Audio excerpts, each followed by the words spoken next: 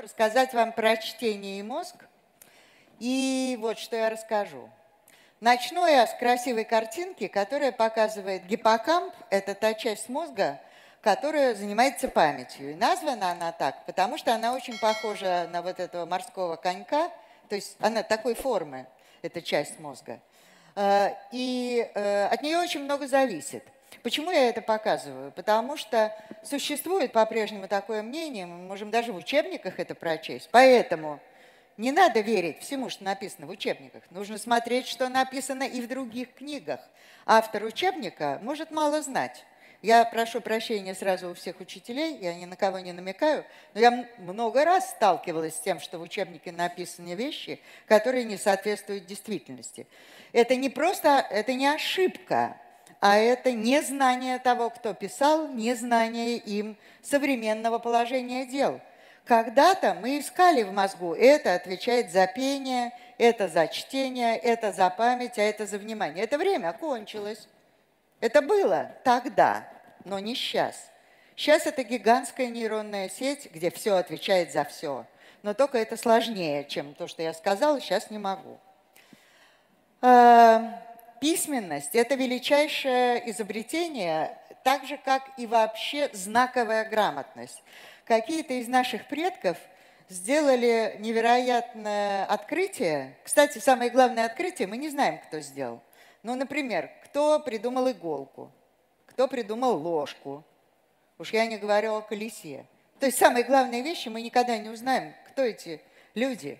Вот кто-то придумал, что мы не можем полагаться на то, что хранится у нас в голове, то есть в биологическом носителе – Потому что мы все смертны, увы.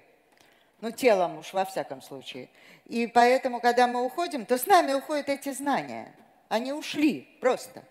Значит, какому-то гению пришло в голову, что, может быть, их вынести за пределы головы, вот это внешняя память называется. External memory по-английски. Я не из пижонства говорю, а чтобы вы, если будете искать в интернете, то external memory – это рисунки, знаки всякие, скульптурки, в том числе и письменность. Это величайшее изобретение. Потому, не, не, не только письменность, но вообще вот вынос знания за пределы биологического субстрата – это обеспечило нашу цивилизацию. Наша цивилизация такая, потому что мы умеем это делать.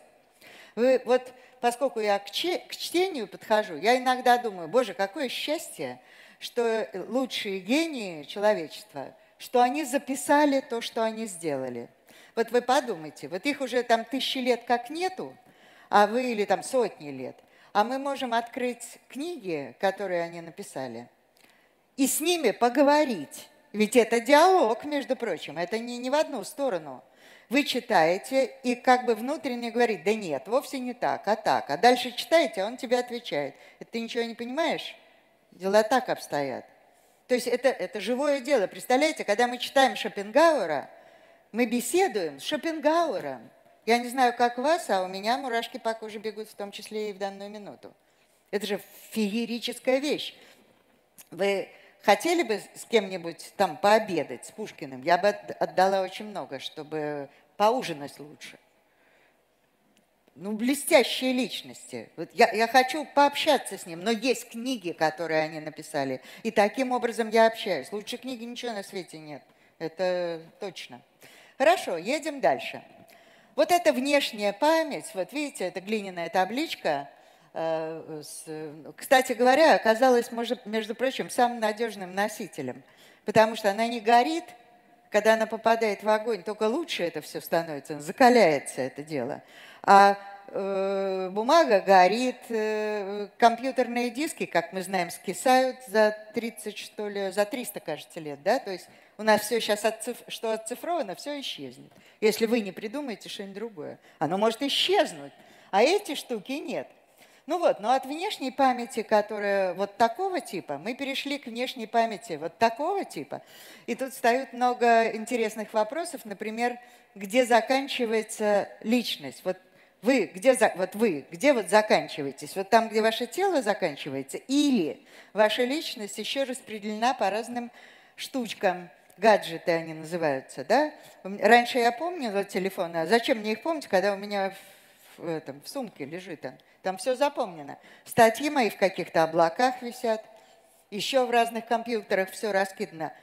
А мое-то еще есть что-нибудь или уже ничего нет? Я все раздала. Так что это отдельная тема, кстати, очень даже научная. С компьютером мы не можем состязаться. Ну, скажем, если мы... Ну, вы, наверное, слышали, что э, искусственный интеллект э, обыграл чемпиона по игре в ГО, да, вот недавно. Вот это удар да удар, потому что в, э, в шахматы он уже обыгрывал энное количество лет назад. Но тогда нас утешали все и говорили, это не страшно, потому что шахматы – это, ну, алгоритмическая игра, перебор эти единицы и нули, гоняешь там туда-сюда. Ну, я упрощаю, конечно, ситуацию. А есть игры, в которых он, этот злодей искусственного э, интеллекта, он ничего сделать не может. Например, игра в ГО потому что там другие принципы. Пожалуйста, все он уже сделал. Поэтому вот к этой черной штуке я бы так присматривалась осторожно. Заметьте, искусственный интеллект не устает, так? он не нервничает, у него нет комплексов и так далее. У него безграничная память, которой у человека не может быть. Просто не может быть. Он, он может хранить, и у него страшная скорость. Э, э, скорость проведения информации по нервным импульсам, ну, вообще, это просто анекдот по сравнению с тем, что суперкомпьютеры делают, они увеличивают свои мощности, там, кажется, раз в три месяца, что ли. Ну, в общем, что-то немыслимое. Они работают со скоростью света фактически. То есть мы не можем конкурировать с этим. Тут надо подумать еще, что из этого следует. Э, вот раньше, я говорю, вот такие счастливые времена – это старые карты того, как представляли себе, как выглядит мозг. Там, видите, вот если бы покрупнее было, ну, может быть, этот будет где-нибудь висеть, вы можете там увеличить. Там отдельный ящик для любви, отдельный ящик да, там, для пилочки для какой-нибудь, отдельный для пения, отдельный для чтения. Ну, просто красота была. Только этого больше нет. Но выглядит красиво. Теперь это скорее выглядит так. И здесь, вот на этой картинке, я не знаю, что вам видно, но из этой картинки я одну вещь хочу выявить. Вместе находятся, вот скажем, вот скажем тут, находятся и те структуры, которые заведуют хождением, там, прыганием и беганием, то есть моторные зоны мозга, и слова, которые обозначают прыганье, беганье и там, движение, я не знаю, руки. То есть он очень странно организован. Не по принципу здесь огурцы, а здесь помидоры, а по какому-то такому странному, ассоциативному, очень сложному принципу, который я могла бы отчасти рассказать, но не могу за такую короткую лекцию, естественно. У нас сложнейшая нейронная сеть она вот такая. Если вытянуть все нейроны и их отросточки, то получится вот такая дикая совершенно величина. И это расстояние, вот как здесь написано, семь раз на Луну слетать. Это в голове каждого из нас. Вы вообще представляете себе, что там делается? И такую сложнейшую машину, ее надо использовать по назначению, не так ли? Жалко ее тратить на ерунду, раз у нас такое досталось нам богатство. В геноме нашем, э, вот моя, мое выступление мультидисциплинарно, как я и обещала. 80% генов работают на мозг. Мозг очень дорогой. 80% генов работает на мозг. Это значит, что в эволюции была идея такая. То есть мозг должен появиться. Меня, кстати, очень волнует этот вопрос, почему у нее, у этой эволюции, такая идея появилась. Зачем ей этот мозг-то наш? От нас, природе, кроме вреда, ничего нет. Мы ей не нужны. А, а между тем, вот так вот вышло. Ну вот, а, были открыты некоторые специфические гены. Я приближаюсь к чтению. Например, знаменитый ген FOXP2, который, э, мутации в нем, поломка его, приводит в некоторых семьях к тому, что ребенок не может овладеть своим первым языком, что делает любой ребенок Земли, в том числе тот, у которого низкий интеллект, потому что это с интеллектом не связано. Вдруг он во всем умен и хорош, только ему не освоить свой язык, свой родной язык. Из этого следует, что он делает ошибки, которые, ну, просто вот как ни старайся, не сделаешь. Понимаете, если бы он какой-нибудь там плюс к вам перфект не мог освоить, ну, куда ни шло. Но он не может освоить простые вещи, типа стол, столы.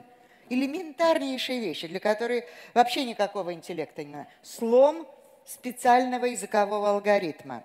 Это я к тому, что даже если мы занимаемся такой вещью, как чтение, говорение, вроде гуманитарной, там огромный пласт есть вещей, которые идут из биологии и даже из такой высокотехнологичной вещи, как генетика. Ну, хорошо. У человека этот ген, он, разумеется, заведует не тем, как вы спрягаете глаголы, а он дает способность вычленять и обрабатывать дискретные штучки всякие. Вот понимаете, вот когда вы сейчас читаете, то у нас есть спасительные пробелы. Мы знаем, где что закончилось, правильно? Э, слово кончилось, дальше опять началось, кончилось. Пробелы есть. А вот то, что я сейчас говорю, если это записать, э, на спектрограмму снять или осциллограмму снять, это будет сплошной поток. Там практически не будет э, пауз. Тем более я быстро говорю. А как вы вычленяете эти слова? Это же не шутка. Они все слиты. Значит, это, это очень сложная задача. Где, заметим, я ни звука не говорила про смысл вообще. Я только про структуру говорю. Ну вот, но тем не менее, все-таки есть некоторые зоны, которые имеют отношение к языку, и это зона брака, она вот тут, и зона верники, она вот тут – Зона брака наиболее активна сейчас у меня, потому что я говорю. А зона верники активна у вас, потому что вы слушаете. То есть брака занимается собственной речи продукции. Если, не дай бог, кирпич упадет на нее, то человек замолчит. А зона верники – расшифровкой речи. И все нарушения, которые с этим связаны, ужасные. Миллионы людей имеют неприятности с речью в результате травм, инсультов, опухолей и всяких штук, и это кошмар. Представьте себе, что вы потеряли речь. Это глубочайшая инвалидность. То есть вы не, не можете вообще ничего делать. Так что наши все научные занятия, они имеют отношение к практике очень большое. 7-6-летний э, возраст – это очень условная цифра – он, э, вот как в науке говорится, это сенситивный период развития разных систем мозговых, в том числе тех, которые обеспечивают так называемую школьную зрелость. Это термин. Школьная зрелость – это мозг данного ребенка дозрел до состояния, когда он может идти в школу. Возраст реальный в этом смысле ребенка не определяется тем, что у него написано в паспорте. Там может быть написано 5 лет, там может быть написано 9 лет – Дело в том, что у него реально в мозгу, его мозг дозрел до того, чтобы, придя в школу, э, мочь э, делать такие сложнейшие вещи. Чтение – сложнейшая вещь. Ну, хорошо. Э, по крайней мере, э, три части есть э, в процессе чтения – и это одновременно. Вы должны распознать, вот здесь нет, по-моему, этой указки, вы должны распознать вот эти значочки. Что они там значат? Они же маленькие, это бисер такой. Вот они идут один за другим, их нельзя поменять местами. Их нужно читать с определенной скоростью, иначе все проваливается. Значит, нужно распознать эти буковки. А может быть так, что у вас плохо работает вот эта часть мозга, которая обрабатывает сложные зрительные образы. Это к чтению прямо отношения не имеет. Просто не те скорости, даже, может быть, размер клеток не вполне тот. И это затрудняет вообще сканирование любого зрительного объекта, в том числе такого сложного, как э, э, чтение. Потом нужно их соотнести, если, предположим, вам диктуют, диктант вы пишете, нужно соотнести то, что вы слышите, со значками, которые на, на бумаге или которые вы тем более должны написать. То есть у вас должно быть знание того, что «о» вот так вот, ну, как и все остальные. Ну и, наконец, нужно вспомнить, что это слово-то значит. А все это происходит с очень большой скоростью. Так что это сложнейший процесс, и он отнюдь не всем, не, да, не всем дается. Сейчас мы про это говорим. Вот видите, э, э, тут картинка, на которой показано, как много зон участвуют, просто у нас нет времени разбирать это все, но вы сможете посмотреть потом на сайте, вероятно, как много зон участвует в чтении. Поэтому, когда вы услышите, а вы можете услышать такую муру, чтением занимается такая-то зона в мозгу. Ну, смех, смех один, и все. Как зрительное восприятие, сканирование этого очень сложного дела – обращение к кратковременной памяти. Почему? Я вам, или оперативной памяти. Потому что люди, у которых нарушена кратковременная или оперативная память, вот они читают слово, к моменту, когда они его дочитали, они забыли начало. У них нет этого кармана в памяти, который держит эту информацию. Они могут при этом быть гениями, хоть Эйнштейном. Кстати, про Эйнштейна будет сейчас разговор. Это ничего не меняет. Кроме того, это ассоциативный ряд – как это, там, с чем это связано по смыслу. Короче говоря, это очень сложная вещь. Проблемы с чтением и письмом огромны в мире. Число, да, я успею, число э, людей э, с дислексией. Дислексия – это нарушение чтения. Как правило, с этим связана и другая вещь, которая носит название дисграфия, то есть нарушение письма это не имеет никакого отношения к интеллектуальному уровню. То есть оно может совпасть, что если у человека нарушение интеллекта или психики там, но при этом еще и чтение. Но они не связаны жестко. Поэтому дети, которые попадают в ситуацию, у которых проблемы с чтением, они оказываются на самом деле в жутком положении, поэтому мы, кстати, в Сириусе собираемся этой проблемой заниматься профессионально. Кто захочет, приходите. Э, вот, они попадают в ужасное положение, потому что они, войдя в первый класс, э, оценок, кроме единицы или двойка, не видят. И э, как учителя, так и ученики, так и часто родители считают, не удался ребеночек. Ну, глупый. Дурачок. Только этот дурачок потом выигрывает олимпиады по математике и по физике. И что с этим делать? И по-прежнему делает 40 ошибок на страницу. Попробуйте наспор сделать 40 ошибок на страницу. Это же вообще дикий труд. Попробуйте их сделать. Так что это серьезная вещь. К примеру, посмотрите на людей, у которых была дислексия.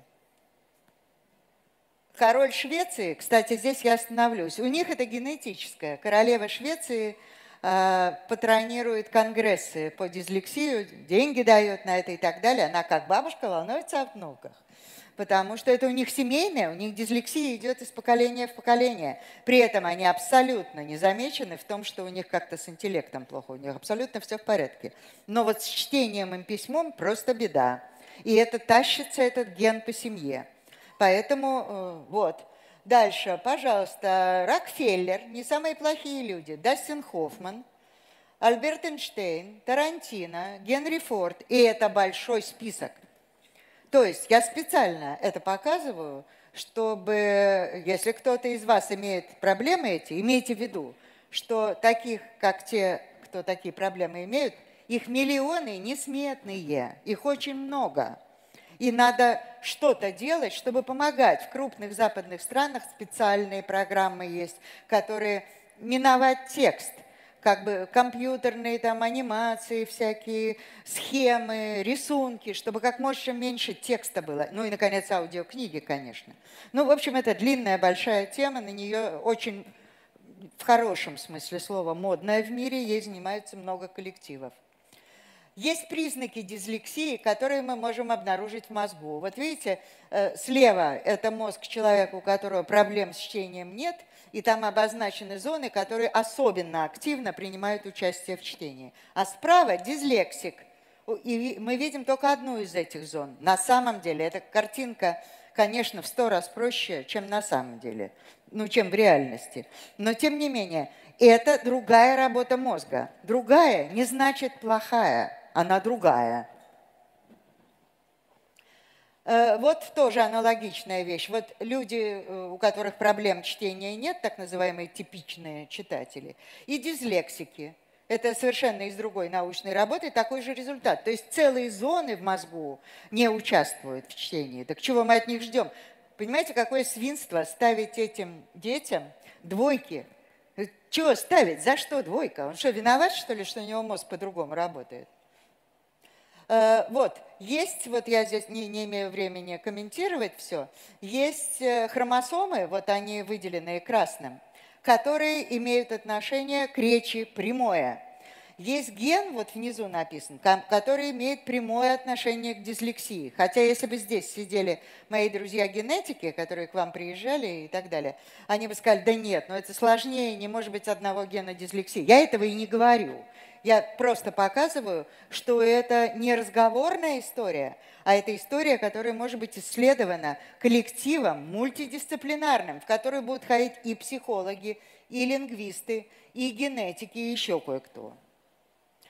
Э, поэтому вот то, что я красным обозначила, это все имеет отношение к генетическим изменениям, которые приводят э, к дислексии. И вот видите, здесь даже написано, что эти клетки вырабатывают укороченную версию вот такого вот протеина. Механизм другой. Это, при этом этот человек может быть очень умен и способен. Кроме того, наш язык конвенционален. Специально мудрое слово говорю. Значит, оно вот что. Договоренность у нас есть. То, что это называется стакан, не более, чем наша договоренность. Мы могли это назвать яблоком, стулом или Э, я не знаю, квантовым э, фотоном.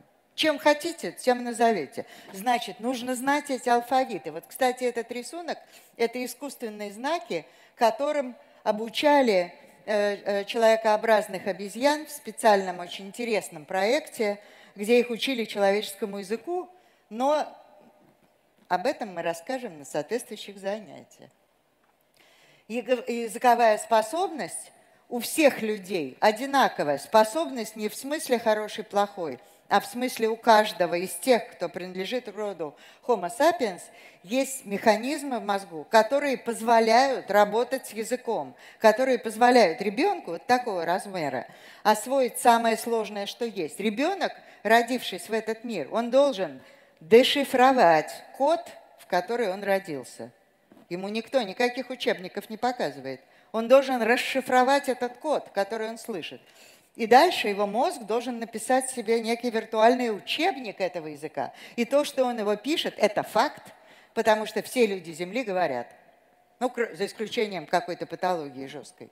Вот, так что, несмотря на огромную разницу в языках, которых на нашей планете примерно 6 или 7 тысяч, как считать там зависит, Э, есть общие универсальные свойства, которые э, характеризуют все языки Земли. И это определенная часть лингвистики, очень интересная.